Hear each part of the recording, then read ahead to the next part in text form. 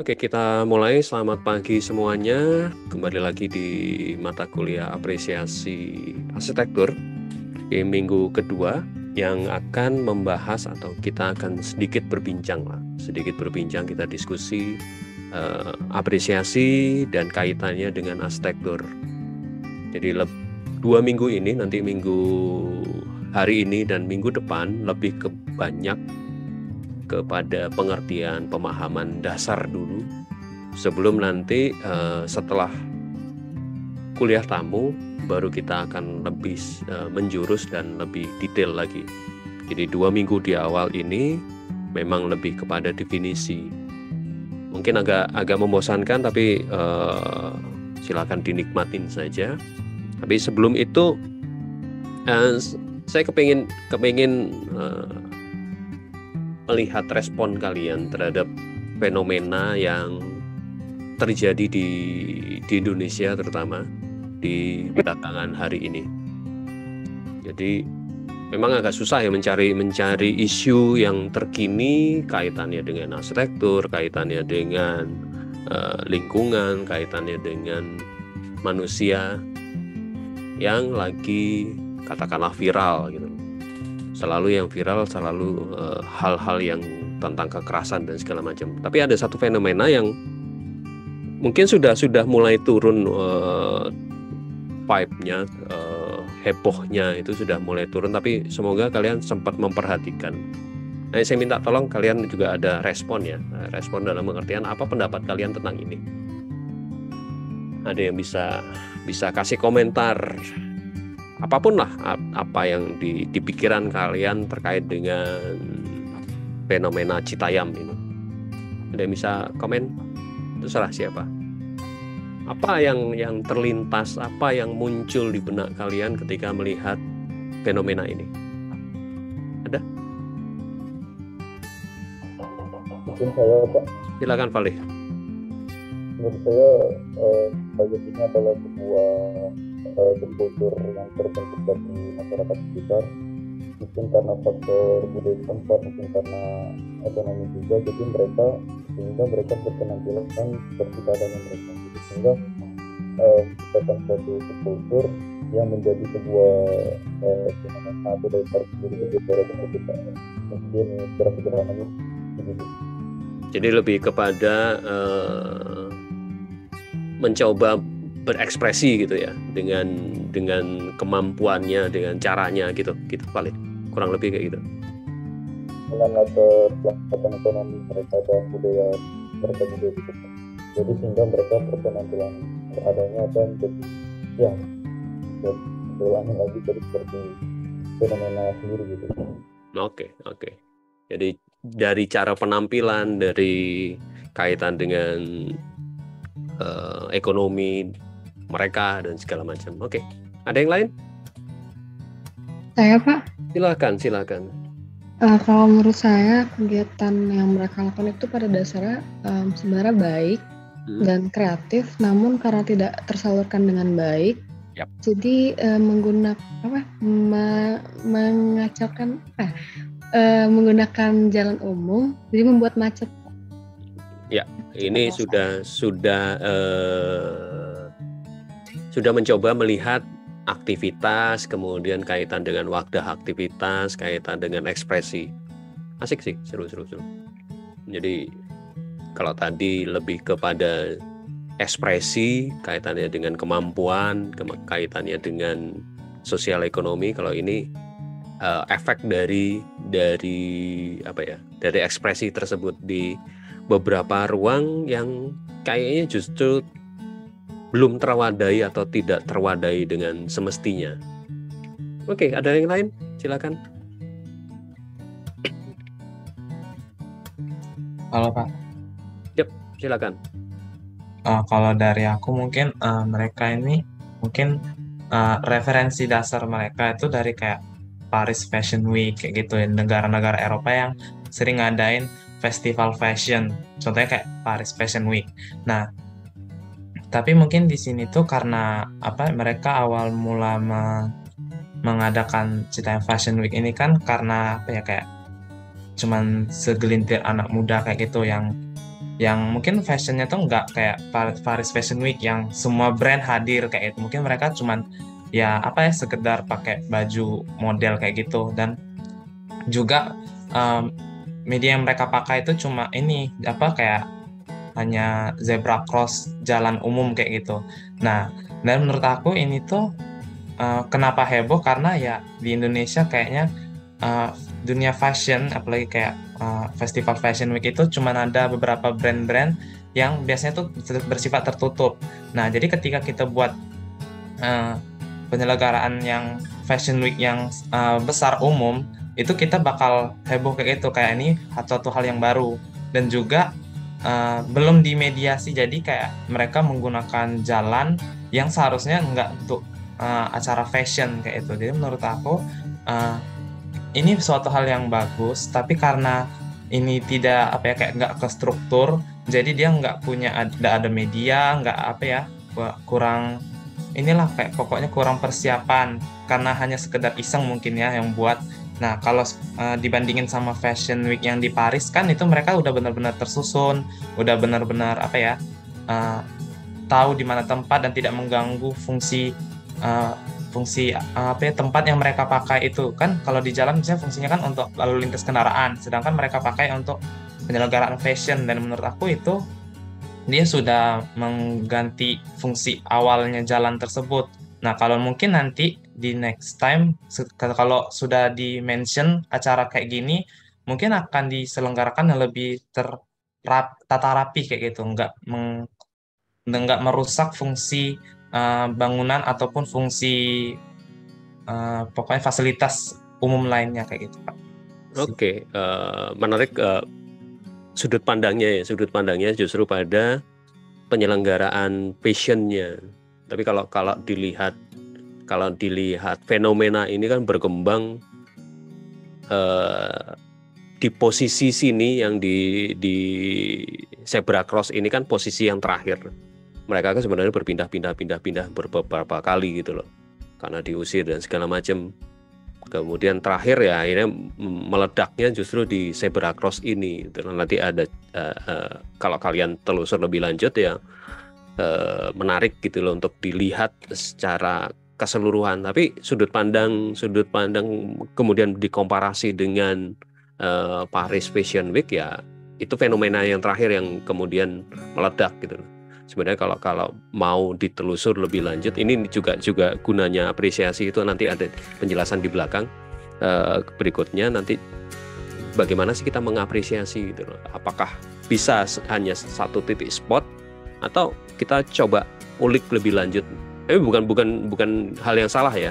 Karena memang yang meledak di di uh, Citayam ini Citayam style ini ya, di zebra cross ini dan dan kalau cari cari uh, gambar di Google ya kebanyakan yang pasti zebra cross ini. Apalagi kemudian dengan fenomena uh, ada yang mendaftarkan di Haki dan segala macam jadi rame justru di titik ini. Tapi kalau kalau ditelusur lebih lanjut iseng aja nggak sampai uh, datanya banyak banget di di internet itu perkembangannya cukup panjang sih sebenarnya fenomena ini udah udah cukup lama yang terjadi. Oke, terima kasih pendapatnya. Ada lagi yang mau me, me, apa ya menyampaikan ini juga sama juga dengan kita mencoba mengapresiasi terhadap sebuah fenomena yang terjadi. Saya ingin tahu aja sih seberapa apa ya pemikiran kalian atau seberapa peka kalian terhadap fenomena yang belakangan ini. Silakan ada lagi. Saya pak. Silakan Rida pak. Jadi kalau menurut saya ini tuh kan sebenarnya ini tuh di Jalan Sudirman ini tuh hmm. udah ramai dari lama, cuman ya. mulai viralnya tuh karena ada yang memviralkan di TikTok. Hmm. Nah mulai dari situ eh, orang-orang tuh jadi apa ya mulai mengapresiasi mereka. Karena kan mereka juga nongkrong di situ dengan stylenya masing-masing. Terus uh, gaya berpakaian yang nggak biasanya gitu. Ya. jadi ini tuh sebenarnya cara mengapresiasi uh, perkumpulan orang-orang yang sebenarnya gabut di situ tapi ya. jadi diapresiasi dengan cara fashion week gitu itu pak menurut saya oke okay. uh, eh, hampir sama seperti yang sebelumnya juga lebih ke fokus kepada kepada kejadian di sini gitu sebenarnya kalau kalau mau ditelusur lebih lanjut ini kan agak panjang ya di Citayamnya sendiri kemudian mereka uh, bisa akses uh, transportasi ini kan efek juga dari kemudahan transportasi dari kota-kota kecil, eh, bukan kota, daerah-daerah, daerah-daerah di luar Jakarta untuk menuju ke pusat Jakarta itu kan sangat mudah pakai KRL, pakai MRT dan segala macam. Jadi jadi mereka mencari ruang yang yang bisa mengekspresikan bahkan sampai ke titik pusat katakanlah kota Jakarta. Nanti kita kita lanjutkan. Kalau saya sih melihatnya justru uh, apa yang terjadi di di fenomena ini uh, di Sudirman dan segala macam itu nggak lepas dari ini sih. Fenomena yang yang biasa di sebuah ruang kota apalagi di Asia. Kalau tadi ada yang mention di Paris sebenarnya di di Tokyo di Harajuku. Kalau kalian iseng aja googling Harajuku style ya keluarnya seperti ini. Sebuah fenomena atau sebuah perilaku kaula muda yang mencoba mengekspresikan dirinya melalui fashion bukan hal yang aneh dan selalu muncul di ruang-ruang publik di ruang publik yang mereka ingin ingin dilihat, mereka ingin mengekspresikan secara bebas dan itu akses akses berikutnya dari sebuah ruang publik. Gunanya ruang publik itu apa sih ya? Untuk uh, untuk bertemunya semua masyarakat dengan lapis sosial yang sangat lebar gitu, sangat luas gitu. Di di Jepang juga cukup seru dan rame. Kemudian di Korea ada sebuah yang kemudian uh, heboh dengan lagu Gangnam-nya, Gangnam Style-nya itu, itu itu itu memang juga sebuah sebuah koridor yang kemudian menjadi uh, menjadi rame karena bang, masyarakat atau terutama kalau muda mencoba mengekspresikan dirinya. Dan ini ini yang kalau buat saya menariknya bukan hanya sekedar stylenya yang cukup seru sih memang stylenya dengan kemampuan eh, masing-masing uh, dengan caranya masing-masing mencoba untuk terlihat dan lebih lagi adalah menggun menggunakan ruang publiknya itu yang yang buat saya sih seru. Nah, kalau kalau dan fenomena ini juga ditangkap oleh beberapa akademisi ya melihatnya bagaimana cita yang Fashion Week ini bentuk artikulasi kultural dari identitas fashion. Kalau tadi ada yang menyebut uh, Paris kemudian melihat bahwa Indonesia kurang iya. Kalau mau mengacu apa yang terjadi di Jember, Jember juga ada uh, sebuah festival yang menggunakan jalan raya saya lupa pastinya tapi itu sudah menjadi agenda tahunan gitu loh. Jem, Jember Karnival. Itu eh, apa ya presidennya lebih ke ke Brasil gitu kan. Brasil juga ada karnival juga. Jadi fashionnya beda fashion karnival yang cukup megah dan tapi menggunakan uh, jalan raya sebagai catwalknya atau juga ada yang melihat bahwa ya ini uh, fashion itu menjadi cara kaula muda mengekspresikan diri. Ada yang sangat kemudian sangat serius sampai ke jurnal dan segala macam. Jadi bagaimana ruang publik itu di direspon. Ini ini kenapa saya pilih fenomena ini karena itu yang dekat dengan kita. Itu dekat dengan dengan arsitektur jadi melihat sebuah ruang terutama ruang publik yang kemudian diapresiasi, kemudian dimaknai oleh uh, masyarakat kota. Apalagi ini kaula muda.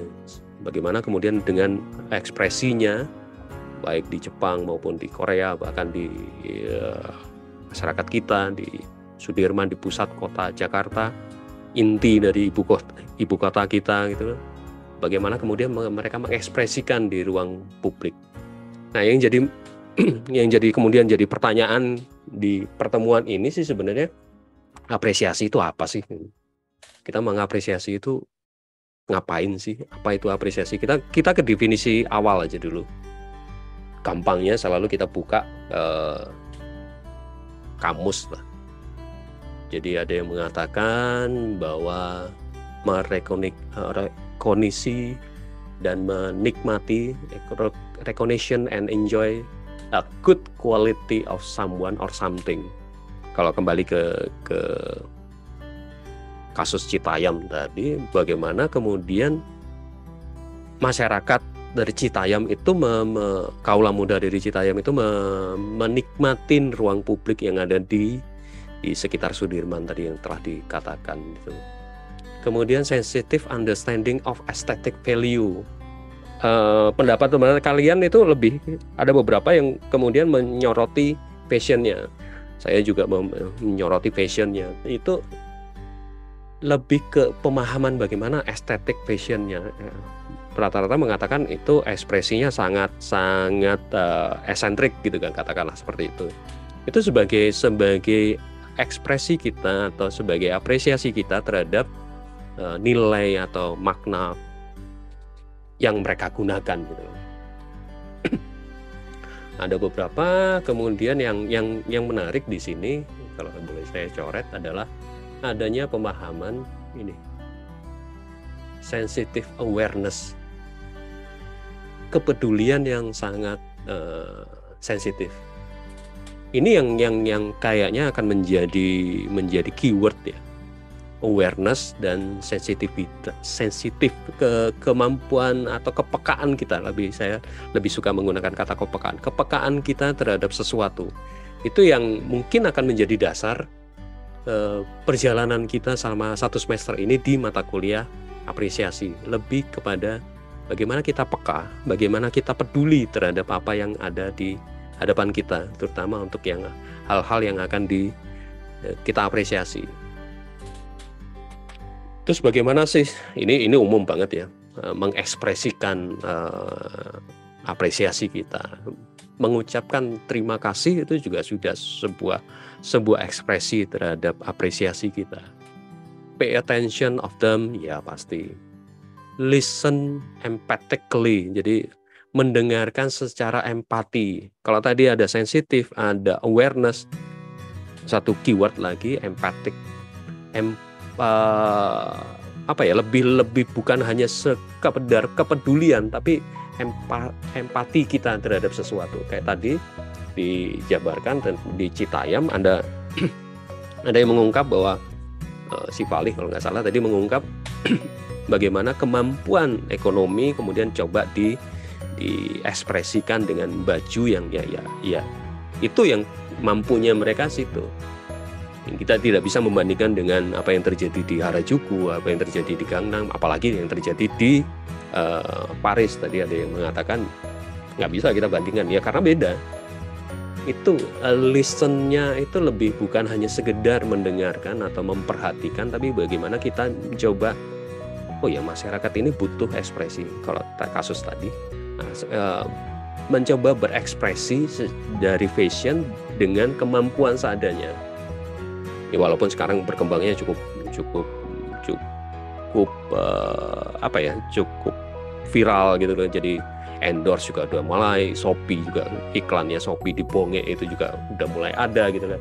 Itu kan yang yang yang yang apa ya berangkat dari nol kemudian uh, duitnya juga mulai datang dan segala macam jadi jadi beda kalau uh, pemahaman kita. Ada makanya ada beberapa yang kemudian melihat oh ini tidak terorganisasi dengan baik. Iya memang. Karena itu uh, seperti bola liar. Tapi kalau kita terusur lebih lanjut lebih lebih mendalam lagi kita bisa tahu bagaimana sih mereka dari berangkat dari hanya pengamen kan gitu. Pengamen dengan mencoba supaya mereka dilirik ya dengan cara berpakaian yang cukup esentrik gitu kan. Kan menarik perhatian pay attentionnya gitu. Sehingga kita dipaksa untuk menoleh kemudian akhirnya mendengarkan. Itu yang yang uh, kita bisa bisa bisa bisa mengapresiasi dengan kemudian melihat ke belakang dan jauh lihat ke belakang itu, itu caranya me, me, mencoba kita mengapresiasinya ya kita melihat ke belakang. Atau yang ini ya kemarin. Bisa? Sorry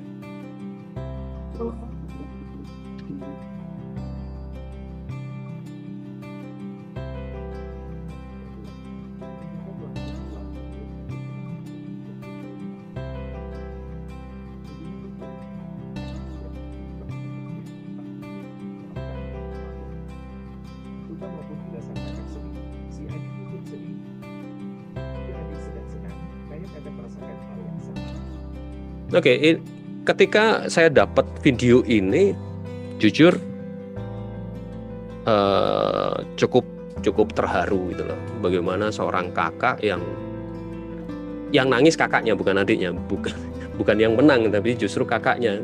Saya misalnya membayangkan bagaimana si kakak ini mendampingi si adik untuk sekedar belajar ulahu.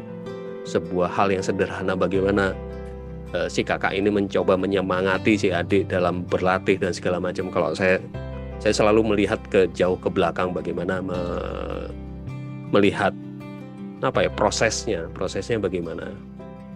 Dan hal itu bisa terjadi kalau kita coba memahami, coba melihat dari sudut pandang si si pelaku dalam hal ini ya si kakak ini. Kalau kalau diteruskan uh, videonya yang nangis cukup ya mewek berat itu ya justru si kakak gitu loh. Yang lain-lainnya ketawa dengan tepuk tangan dan segala macam tapi yang nangis benar-benar nangis saya saya teruskan aja tapi itu ya pak ya. Nah, di sini kan. Terlihat sekali bagaimana si kakak itu men, apa ya ikut senang sekaligus sekaligus bangga sekaligus terharu gitu loh ini contoh yang contoh yang menarik atau si kakak ini juga mengapresiasi apa yang dilakukan si Adia. Hasil dari dari kemenangan ya sekedar ulaup sih tapi prosesnya itu mengapresiasinya. Kemudian kita dari sudut pandang orang luar juga mencoba memahami kenapa sih si kakak ini mewek banget gitu kan itu yang yang mungkin kita bisa bisa lakukan atau bisa bisa jalani lebih lanjut kalau kita me, uh, memahaminya. Jadi kalau kembali lagi ke definisi ya lebih kepada a full understanding of a situation. Jadi apresiasi itu kita mencoba memahami apa yang terjadi secara secara penuh. Dengan tadi kata kuncinya ada empati, ada sensitif, ada hal-hal yang itu awareness empati dan awareness ini yang sangat sensitif. Sehingga full understandingnya kita kita uh, bisa tumbuhkan. Itu dasar dasar sekali dalam kita mencoba memahaminya. Ada sensitive awareness ada awareness or delicate perception. Kasarannya selalu ada yang mengatakan ya kita menggunakan sepatu istilah istilah Inggrisnya. Kita kita mencoba memahami bagaimana uh, sepatunya sampai ke segitunya. Jadi kita coba masuk katakanlah kalau kalau kalau ke ke Citayam kita coba masuk bagaimana sih si si bonge itu atau si JJ itu berproses itu dari yang orang yang enggak dilirik pun tidak. Itu sampai sekarang dikejar-kejar kejar-kejar wartawan, konten creator dan segala macam sehingga saya juga paham bagaimana marahnya si JJ ketika dikejar-kejar wartawan kan seperti itu. Itu itu kalau buat saya sih seru banget itu. Ada ekspresi yang berbeda antara JJ dan Bonge. Bonge bisa menerima dan tetap santun dan segala macam karena kedewasaan yang mungkin seperti itu. Si JJ marah-marah dan itu di dihujat habis-habisan ya. Kita coba paham konteksnya gitu. Nah, itu kemudian bagaimana kita kok coba terapkan di dalam arsitektur. Kita melihat arsitektur itu seperti apa. Kalau kalau quote ya, the best way uh, to appreciate someone is to imagine your life without them. Seandainya kemudian someone-nya diganti dengan arsitektur bagaimana?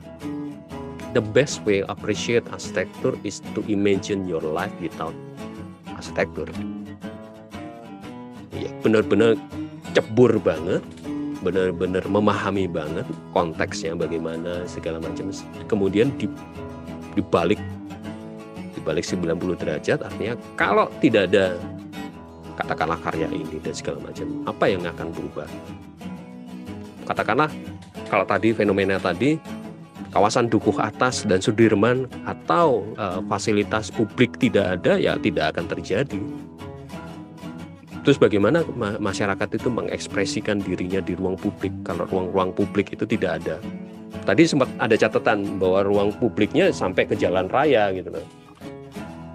Akhirnya menggunakan jalan raya. Berarti kan ada yang kurang. Ada yang belum terwadai secara maksimal terlepas dari terorganisasi atau tidaknya tapi bagaimana itu terwadai ekspresinya Pak ada yang konyol juga eh, mungkin ada yang berpendapat deh di ruang publik pun diusir. Jadi ceritanya Citayam itu kan di ruang publiknya di daerah Citayam dan Cikarang dan sekitarnya itu kan kemudian digeser kan nggak boleh. Karena mereka memang memang agak kelewatan sampai tengah malam dan segala macam. Tapi kan itu kan persuasifnya tidak harus harus diusir. Akhirnya mereka mencari ruang publik sampai tembus ke Jakarta dan segala macam. Bahkan ada ada isu terakhir katanya mau kepik dan segala macam saya nggak yakin akan terjadi gitu loh kalau kalau pindah sampai ke pik karena beda beda segmen uh, ruang publiknya. Oke kalau kemudian kalau tadi tentang awareness kaitannya dengan sensitif dan segala macam yang jadi permasalahan kalau di sini di apresiasi arsitektur arsitektur itu apa sih mungkin kalian dari semester 1 ada yang baru semester 3 ada yang semester 5 ada yang semester 7 bisa nggak jawab sih apa itu arsitektur? What is arsitektur? Ada yang mau menyampaikan pendapat setelah belajar sekian lama? Apa tuh sih arsitektur? Ada respon? Silakan. Setelah belajar sekian lama arsitektur itu apa sih? Saya sampai saya jujur sampai sekarang masih butuh buka buku dan banyak banget buku ini. Nanti kita akan pelajari satu-satu dari ketiga buku ini. Apa tuh arsitektur? Ada yang bisa komen?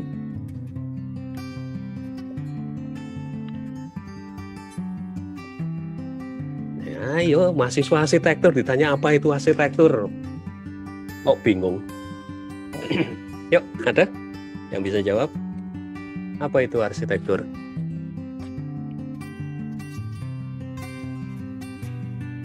Halo? Suara saya masih terdengar kan? Jujur saya takut eh, kalau kalau suara saya tiba-tiba hilang tolong dikabari ya. Saya kadang ngomong nggak pakai rem soalnya. Ada yang bisa jawab? se seklebat aja atau setelah sekian lama belajar apa itu arsitektur menurut ini tuh bukan bukan ujian juga bukan kuis juga saya pengen tahu aja apa itu arsitektur izin menjawab pak yap silakan Rayhan arsitektur itu singkatnya ilmu mm -hmm. atau seni dalam merancang bangunan pak oke itu uh, definisi Wikipedia tidak apa-apa tidak apa-apa Ayo, yang yang lebih personal, ada yang bisa berani menjawab yang lebih personal. Apa itu arsitektur? Arsitektur itu merupakan kutukan buat saya, ya. Kalau saya juga gitu sih. Eh, saya sudah kadung kecebur, mau diapain? Uh, izin dulu Pak. Silakan, ya Anita. Kalau menurut aku arsitektur itu seni dalam merancang. Oke. Okay. Itu kalau buka di Wikipedia itu ada ada definisi berikutnya bukan salah enggak dan itu yang memang terjadi tapi ada catatan menarik adalah adanya kata seni seni merancang yuk ada lagi pengen menjawab pak saya yep. Uh, kalau menurut saya seni eh, ilmu arsitektur itu merupakan suatu cabang ilmu atau seni dalam merancang bangunan yang memperhatikan kegunaan uh, fungsi bangunan, uh, konstruksi bangunan, kekuatan, dan juga uh, uh, se apa dan juga keindahan. Oke. Okay. Kamu pernah di diajar Bume ya? Iya, iya pak. Nah, itu definisi pengantar arsitektur katanya. Gak apa-apa, gak apa-apa, bukan hal yang salah. Saya pengen tahu aja sejauh mana. Ada lagi? Yang bisa jawab?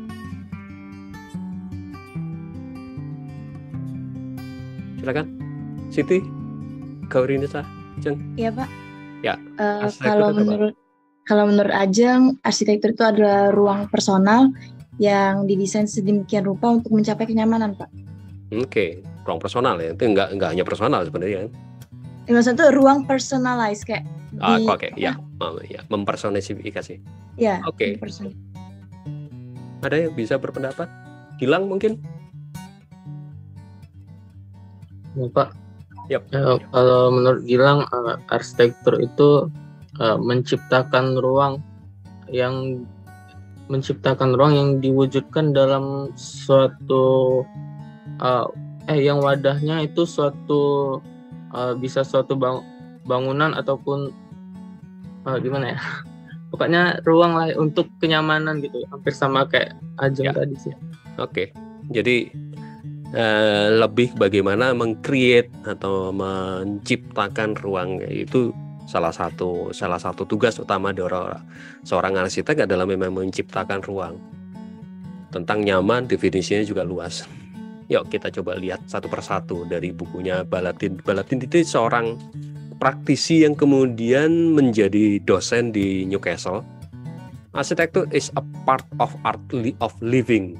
Jadi ya, benar tadi ada seni merancang bangunan, tapi tidak hanya seni, tidak hanya untuk bangunan, tapi untuk kehidupan. Dan keberhasilannya dilihat ketika kehidupan itu terjadi di dalam rancangan itu.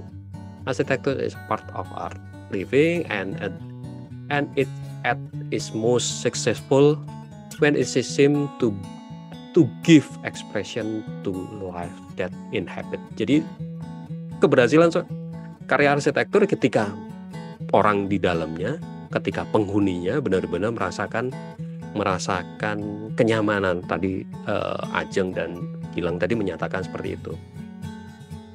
Arsitektur is always complex. Nah, itu masalahnya di situ. Tidak hanya secara teknis, tapi juga berbagai uh, variabel uh, praktek kehidupan sehari-hari yang harus diselesaikan ini ini menariknya. You think philosophy is a difficult enough, but I can tell you, it is nothing to the difficulty of being a good architect. Jadi ini yang yang yang kalau kalian belajar filsafat, kalian belajar estetik, yang selalu menjadi contoh besar atau menjadi contoh utamanya adalah karya arsitektur. Karena di karya arsitektur itu tidak hanya sekedar seninya saja kalau penjelasan Balatin ini lebih ke kompleks lagi. Tidak hanya seni tapi seni terapan. Seni bagaimana manusia bisa hidup.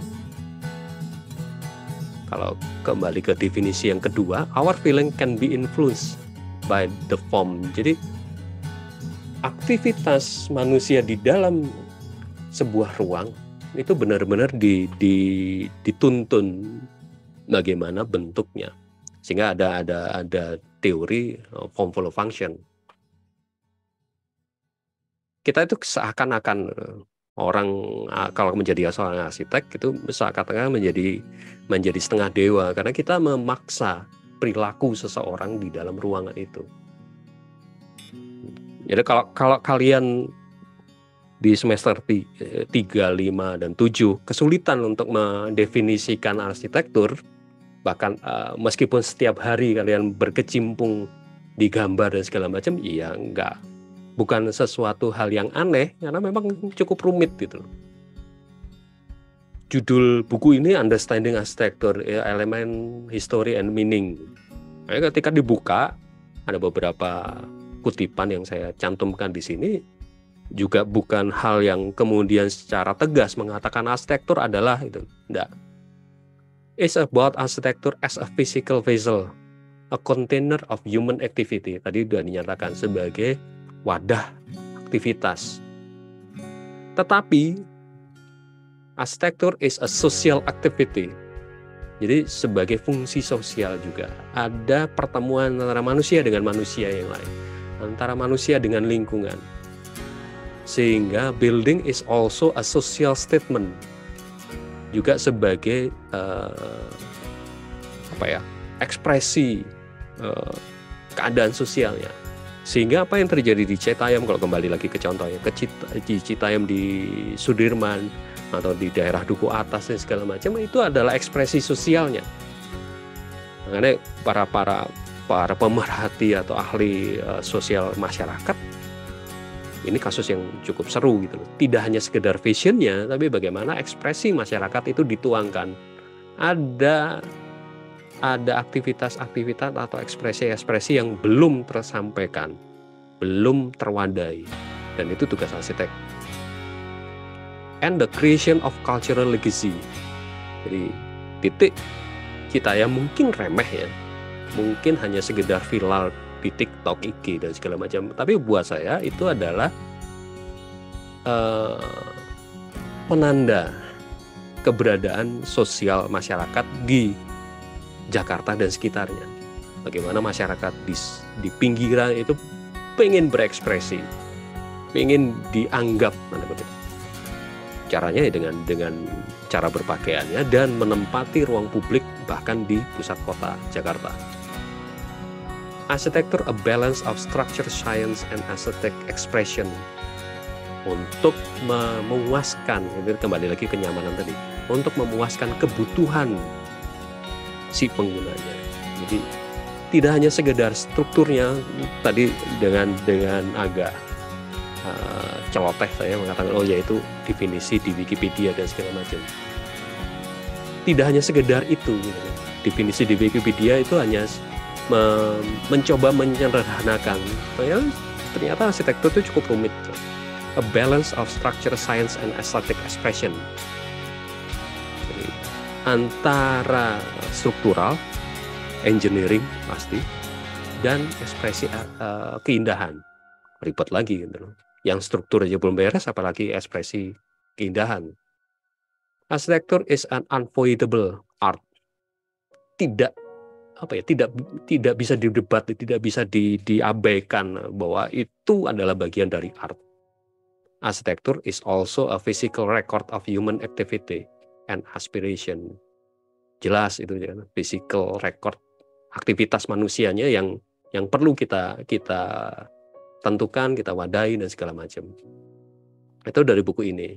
Dari buku yang lainnya The experience of architecture and the built environment is a something that form part of everyday life for most of us. Jadi ya arsitektur dan lingkungan binaan yang di, biasanya dirancang oleh orang arsitek atau urban designer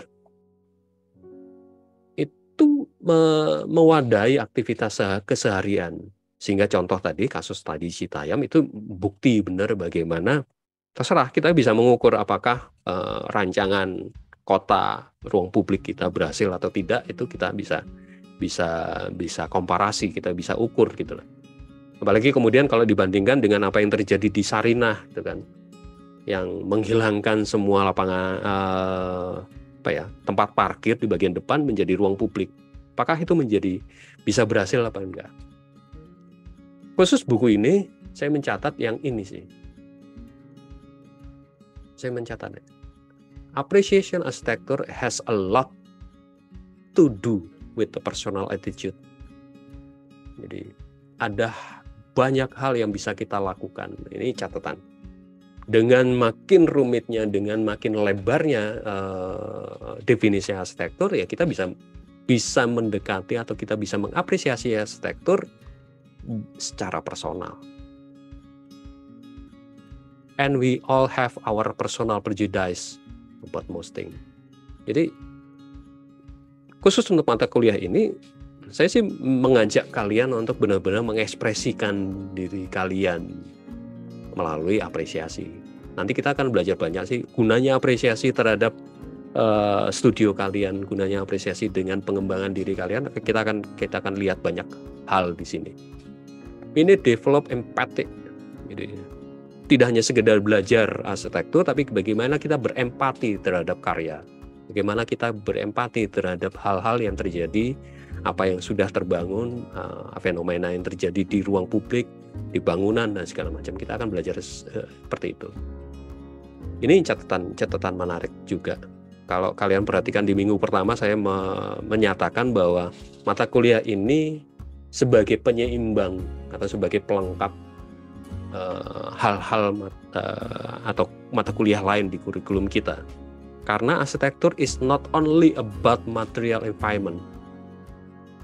For building express our aspiration, our hope for the future and our belief.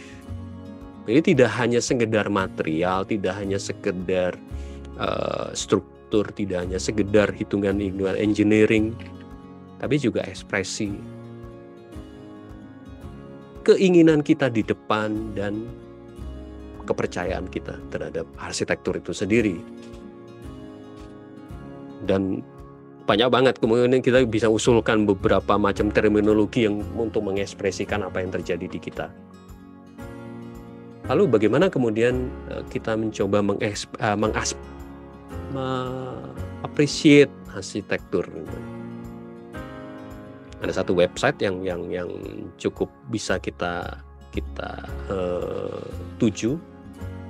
Arsitektur arsitektur appreciation is one of the activity and then for that will help you understand the finer thing in life. Jadi belajar apresiasi itu me, saya berharap sih menambah kemampuan kita, empati kita, sensitivitas kita uh, terhadap sebuah bangunan. Tidak hanya sekedar bangunan, tapi juga manusianya. Caranya bagaimana? Ini, ini sedikit sih. Do not force it. One the best way to appreciate arsitektur is the letting it happen. Jadi ya benar uh, melihat Citayam seperti Citayam apa adanya tanpa harus menjudge segala macam. Tapi kemudian kita coba lihat lebih lanjut You visit site a building because you want to feel something. Ya nggak nggak nggak bisa dipaksakan sih sebenarnya untuk mengapresiasi arsitektur.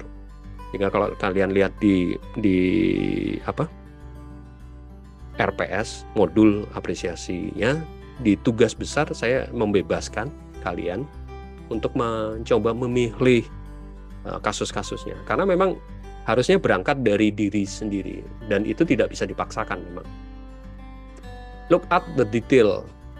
Sometimes the beautiful of architecture does does not lie in the ground grandiosity and the bigness.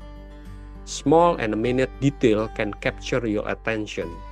Jadi kadang memang memang keindahan atau keunikan karya arsitektur bukan karena kemegahannya, be, uh, monumentalnya bukan, tapi justru pada kadang pada handle pintu, pada apa uh, keramiknya, tackle-nya, detail di sambungannya dan segala macam. Dan itu menariknya di arsitektur di situ. Kita bisa melihat bangunan dalam posisinya di skala kota sampai ke handle pintunya. Kita juga bisa kita lihat dan kita kita apresiasi. Langkah berikutnya adalah read up on the history ini yang selalu yang nanti ada contohnya yang selalu coba saya lakukan gitu. Ketika melihat sebuah bangunan bukan kemudian langsung pada bangunannya tapi melihat prosesnya. Proses bangunan ini terbentuk atau bahkan sampai ke ke arsiteknya. Kehidupan arsitek ini gimana sih? Apa yang terjadi? Apa yang mempengaruhi? Apa yang yang hal-hal apa yang kemudian mempengaruhi si arsitek ini dalam proses merancangnya sampai ke hal seperti itu dan itu adalah usaha untuk berempati terhadap sebuah karya arsitek dan bangunan arsitekturnya gitu. Yang ketiga ada take a picture. Ini yang yang terkadang saya kadang lupa terlalu menikmatin detailnya, terlalu menikmatin suasananya, terus kemudian melupakan bahwa saya harus ngambil gambar sebenarnya untuk capture atau me, me, merekam apa yang terjadi. Ini singkat aja cara mengapresiasi di, di dalam arsitektur. Tapi kemudian saya mencoba meng, mengajak kalian kalau tadi ada yang read up the on the story gitu loh. Sejarah arsitektur itu bagaimana? Kenapa arsitektur itu sedemikian rumitnya? Architectural history is like another history concerned with understanding, finding explanation for the past. Pasti. Tapi berbedanya dengan dengan kesejarahan ilmu sejarah yang lain adalah bagaimana karya tersebut mempengaruhi karya selanjutnya. Itu yang membedakan gitu. Caranya bagaimana seorang seorang sejarawan arsitektur adalah architectural history is concerned with understanding all type of building and studying built environment in many different historic context. Jadi kalau kembali lagi ke sini read up the history itu kita, kemungkinan kita akan akan akan terjebak atau kata akan kesasar juga banyak gitu. Seperti tadi Citayam tadi kasus Citayam mungkin sekilas sejarah Bonge dan JJ dan segala macam kehidupan proses hidupnya segala macam tapi juga kita juga bisa terjebak dengan proses kok kenapa mereka memilih style seperti itu? Apa referensinya? Itu kan bisa bisa seperti itu. Sama juga dengan arsitek. Kita kita bisa melihat karyanya proses pembangunannya atau kita bisa melihat si si arsiteknya bagaimana proses arsitektur itu berkarya supaya ya, definisi yang terakhir comparating dan constructing building in order to reveal similarity and difference is still technique that apply today both critical and historian. And it can be useful one if the building being compared have something in common. Jadi kemudian mengkontraskan seperti tadi saya mengkontraskan antara Citayam dengan Harajuku dengan Gangnam itu untuk mendapatkan mendapatkan pola mendapatkan patterns yang apa sih kesamaannya apa sih perbedaannya dan bagaimana kemudian oke okay, melihat ke depan. Dan itu yang terjadi di di di arsitektur itu sama aja sih. Model seperti itu sama aja. Sehingga kalau kalian lihat di ke depan atau di beberapa perguruan tinggi itu selalu menjadi satu kesatuan histori, teori, kritik. Dan sebelumnya apresiasi itu menjadi satu kesatuan di dalam pemahaman arsitektur karena apa yang dilakukan oleh seorang sejarawan arsitektur itu akan di diulas atau dianalisis lebih lanjut oleh seorang teori eh, ahli teori arsitektur yang kemudian digunakan kembali di dalam eh, praktek arsitektur praktek seorang arsitek. Dari praktek muncul bangunan itu yang kemudian menjadi bahan untuk para historian uh, mengulasnya kembali. Kita cari pola, kita cari uh, perkembangannya seperti apa, pengaruhnya seperti apa, kemudian di di diulas, dianalisis lebih lanjut. Ini patternsnya gimana dan segala macam oleh seorang uh, ahli teori, munculkan teori digunakan kembali oleh seorang arsitek. Jadi putarannya ini seperti itu. Arsitektur teori kritikal histori itu mutar lagi nanti. Kembali lagi ke bangunannya lagi dan segala macam. Tapi dasarnya adalah dasarnya adalah tadi empati sensitif dan segala macam. Mungkin itu sebagai pengantar kaitan antara apresiasi, bagaimana mengapresiasi, bagaimana terutama di arsitektur sebelum nanti masuk ke contoh seperti apa dan bagaimana kaitan apresiasi kritik itu nanti ada menjadi bahan di setelah UTS yang kemudian akan mempengaruhi perkembangan dari si arsitek itu uh, ilmu arsitektur itu sendiri. Sampai sini ada yang mau ditanyakan?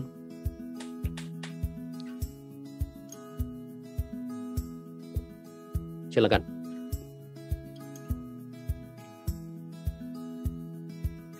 Ada kalau ada silahkan raise hand ya. Uh, sambil jalan saya akan akan menjelaskan kembali kalau yang lihat hari ini memang ada dua dua tugas yang bisa kalian kumpulkan kemudian di Google Drive. Google Drive ke WA Group. Kalau kalian buka WA Group kemudian di deskripsi itu ada link uh, Google Drive. Jadi kalau tanya ada linknya di mana ya di WA Group itu. Tugas pertama yang A adalah resume ya silakan kalian buat buat ekspresi atau apa pendapat kalian atau intinya adalah apa sih yang kalian dapat dari penjelasan tadi? Apa aja yang bisa kalian jabarkan?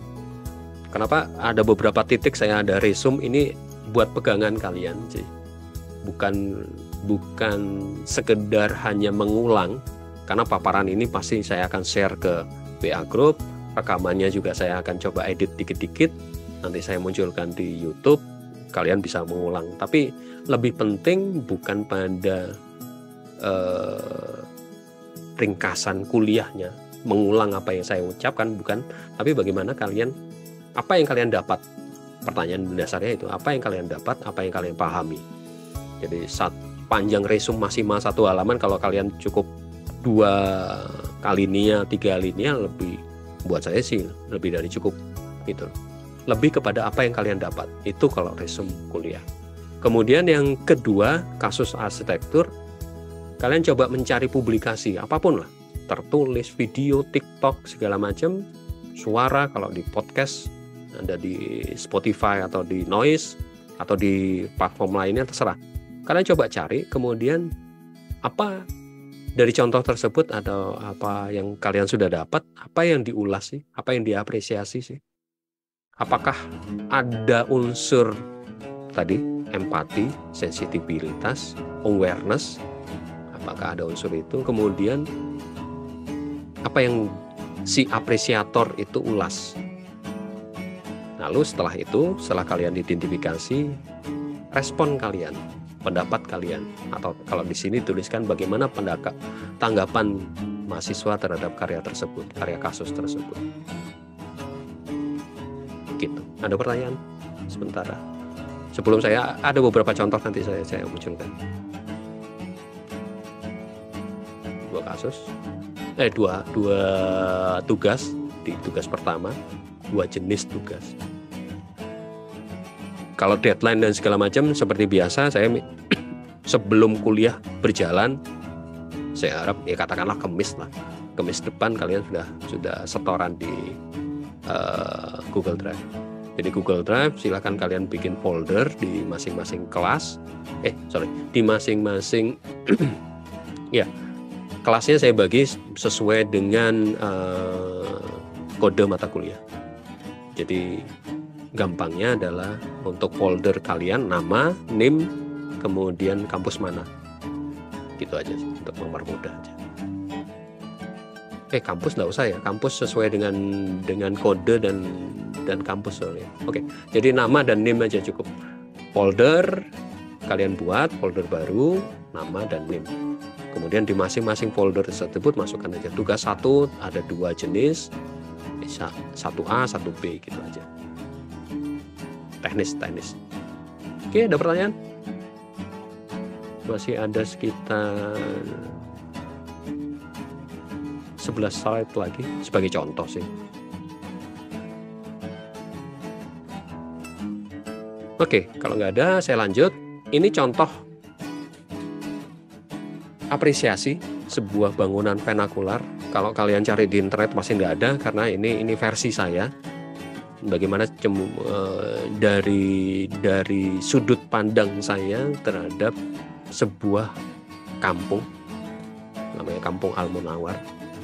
Kenapa Kampung Almunawar? Karena memang kebetulan belakangan ini saya agak concern di sini. Setelah sebelumnya di Kampung Kapiten dan segala macam, tapi ke Kampung Almunawar ada hal yang buat saya menarik yang kayaknya bisa diekspresikan atau diapresiasi lebih lanjut. Ada satu rumah, bukan satu sih sebenarnya dua rumah. Ini namanya rumah kembar darat berhadapan-hadapan. Konteksnya kembali lagi ya, ini Kampung Almunawar yang berada di kota Palembang di tempian Sungai Musi. Kalau kalian perhatikan kata Almunawar, kalian juga langsung Eh, konotasinya memang penghuninya sebagian besar adalah warga keturunan uh, Arab Yaman. Tapi bangunannya seperti ini.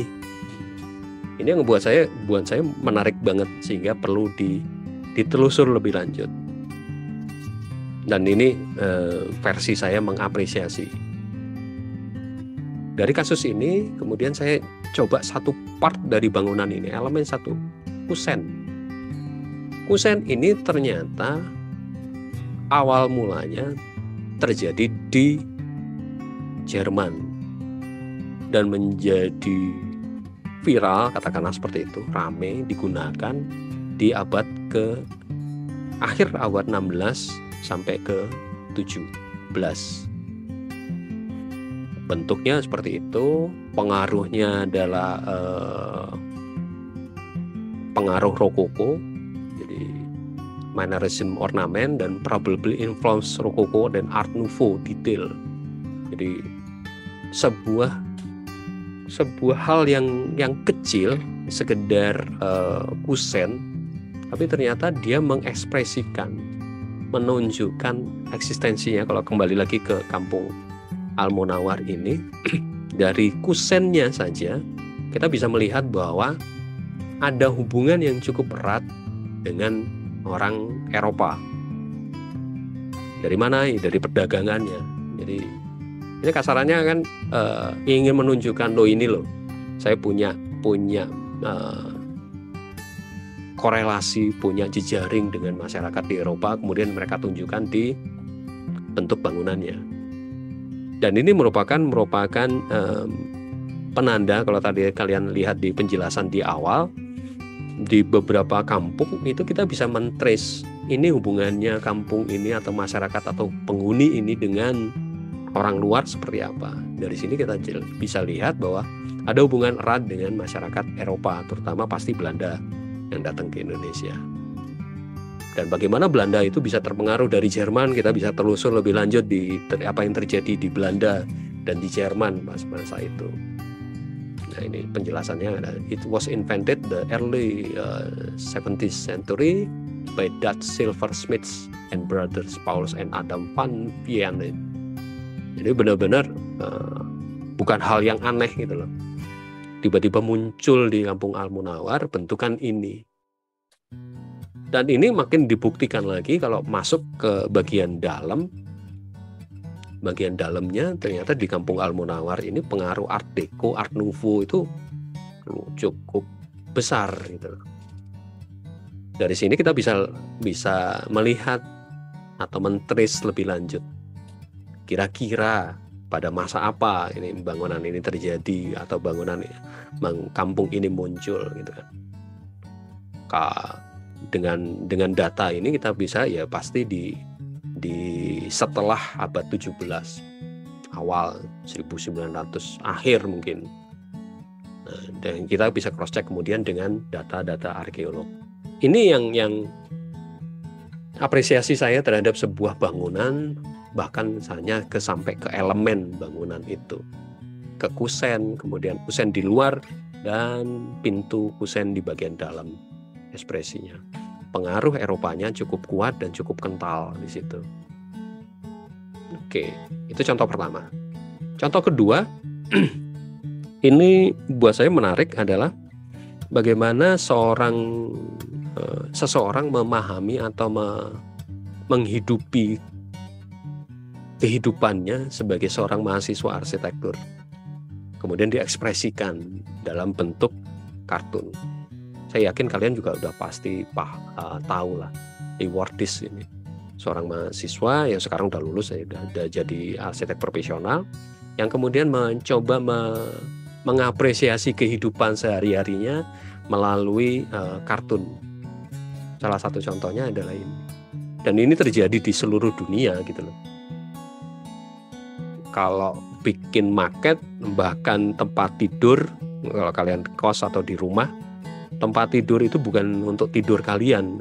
Tempat tidur untuk tidurnya si market gitu. Market itu benar-benar dijaga. Bahkan diperlakukan layaknya benda pusaka gitu. Zaman dulu sih nggak tahu sekarang gimana. Karena sekarang sudah jarang menggunakan market. Tapi yang mungkin yang yang kartun yang sebelah kanan. Itu yang paling tepat gitu mahasiswa lain jam 11 itu dianggap malam. Kalau mahasiswa arsitektur jam 11 itu masih sore. Malamnya jam berapa ya? Jam 3 jam 4 paginya kapan? Tidak pernah pagi. Apalagi kan menjelang menjelang kumpul studio tugas studio udah. Lupa mana pagi mana siang mana malam tidak jelas udah. Karena, karena itu ya perputarannya ini adalah ekspresi apresiasi uh, kehidupan dia di dalam mengikuti uh, perkuliahan arsitektur bahkan dia bi bisa bisa bikin tipikal seorang mahasiswa arsitektur yang selalu ngantuk. Saya yakin ada beberapa dari kalian penjelasan ini juga agak-agak ngantuk-ngantuk gimana karena ini cukup pagi sih bagi seorang arsitek. Ini jam tidur sih sebenarnya.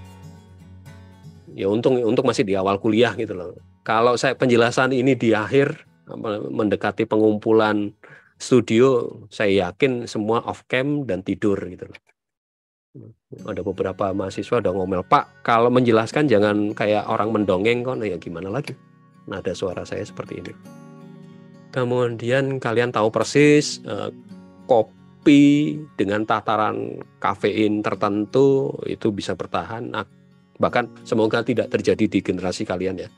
Bahkan kalau generasi saya itu kopi dengan campuran garam akan meningkatkan kemampuan kafeinnya sekian persen gitu kan. Ya meskipun eh, detak jantungnya makin bertambah kemudian ruang kerja kalian eh, sekarang dengan komputer dan segala macam eh, sticky note itu pasti nempel di mana-mana. Itu yang terjadi di, dengan real life. Jadi apresiasi yang dilakukan oleh uh, orang ini adalah benar-benar yang dia dia pahami. Dan itu buat saya adalah apresiasi yang berhasil. Apresiasi yang dia paham benar. Dan ini juga menarik buat buat kalian uh, ketika mencari katakanlah untuk judul tugas akhir atau proposal tugas akhir dan segala macam. Cari yang benar-benar kalian paham. Cari yang benar-benar kalian mengerti luar dalam. Dari dengan apresiasi ini kalian bisa paham uh, minimal lah bisa bisa mengetahui seberapa dalam sih saya mengetahui sesuatu dari dari uh, komik ini atau gambar ini yang kiri bagian bawah itu yang saya tidak pernah lakukan. Kontrol plus S ini segala macam. Kontrol shift dan segala macam. Kemudian konsep bisa di mana pun itu yang terjadi dan dan itu yang kemudian bisa kita kita pelajari. Ya semoga melalui apresiasi eh, mata kuliah apresiasi ini kita bisa coba pelajari lebih lanjut. Sebenarnya bagaimana sih kita memahami sesuatu memahami karya arsitektur karena ini kata Libeskind arsitektur should make us feel different. Itu ya yang yang yang tugas utama seorang arsitek. Itu di situ. Dan karya arsitektur ya benar-benar membuat kita berbeda. Bahkan ada beberapa teman arsitek profesional mengatakan di beberapa proyek uh, spesial dia, dia mengatakan ini kayak kayak apa ya menantikan atau melahir uh, menantikan kelahiran seorang anak. Jadi ada beberapa arsitek mengatakan karya-karyanya itu anak-anaknya gitu. Karena saking saking personalnya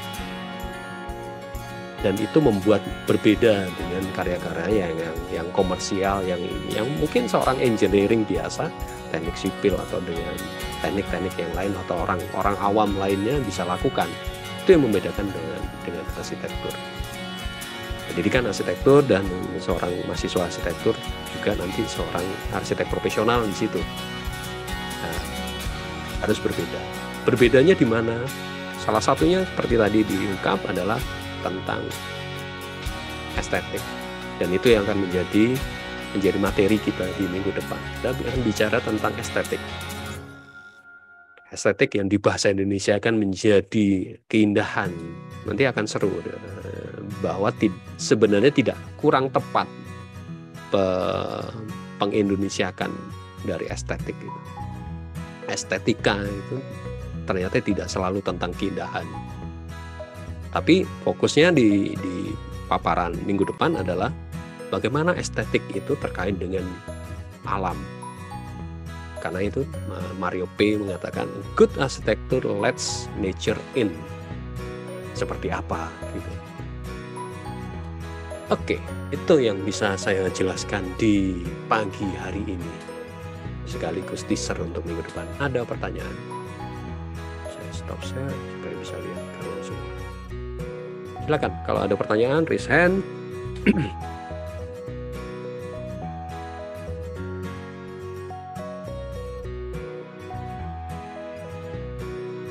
adakah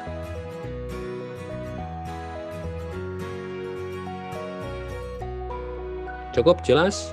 Lengkap dengan tugasnya jelas segala macam? Oke.